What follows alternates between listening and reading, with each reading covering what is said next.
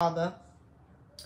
The Pluto is in the fourth house. So that's what I'm saying. That's why I asked you if you was, it's either you are uh, a Scorpio or uh, a Cancer, water sign energy.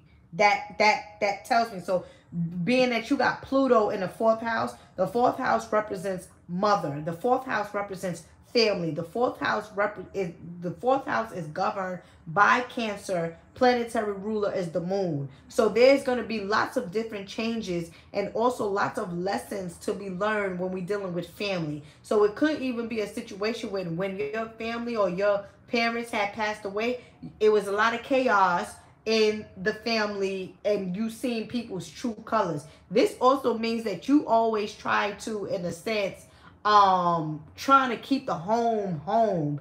Good sister, let the nigga go. If shit ain't working out with anybody or whatever, you gotta let that person go because spiritually you will be drained. Um, um, um, um, uh, Pluto sitting in that fourth house is gonna restrict you. It's gonna, it's gonna teach you some shit and it's gonna teach you some hard shit if you don't listen up.